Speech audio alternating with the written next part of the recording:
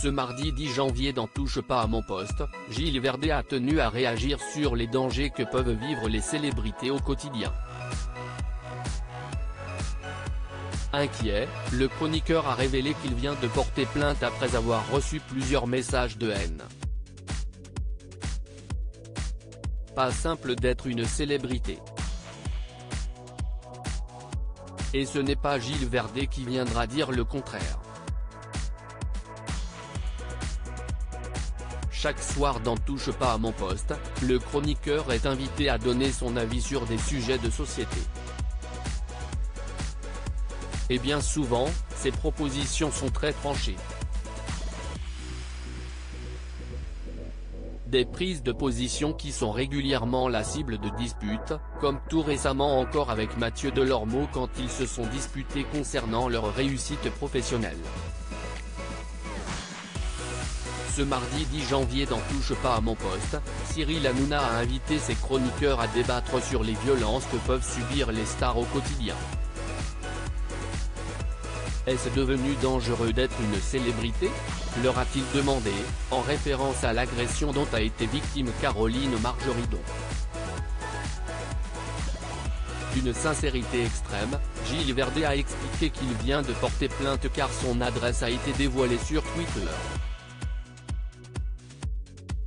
Je viens de porter plainte, la police a été parfaite,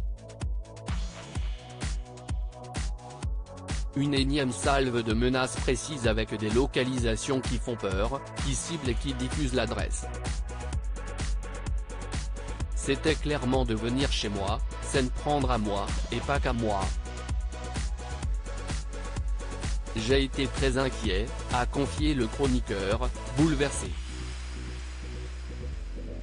Cyril Hanouna défend Gilles Verdet une situation d'autant plus inquiétante pour le compagnon de Fatou qui a eu le sentiment d'être suivi en voiture. Sans oublier qu'il reçoit plusieurs messages qui l'inquiètent au plus haut point.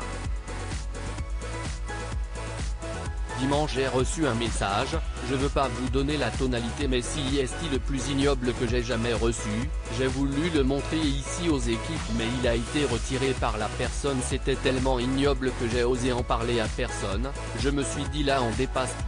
Si on en arrive là quand on prend une position, même si mes positions suscitent des désaccords, a-t-il déploré, épuisé moralement? Un cri du cœur qui a touché Cyril Hanouna, bien déterminé à défendre son chroniqueur. Gilon est plein à ne pas être d'accord avec lui, mais si est un garçon que j'aime énormément? On peut s'engueuler je peux avoir les nerfs contre lui mais si est quelqu'un qui est extraordinaire et toutes ses positions sont à l'image de ce qu'il est dans sa vie, il aimerait aider tout le monde, que tout le monde puisse être pardonné et si est ça qui lui est reproché? Aujourd'hui, Gilles je sais qu'en ce moment il est extrêmement inquiet, j'ai dit aux équipes d'être au plus près de toi, lui a promis le présentateur de TPMP. Une parole qui vaut de l'or.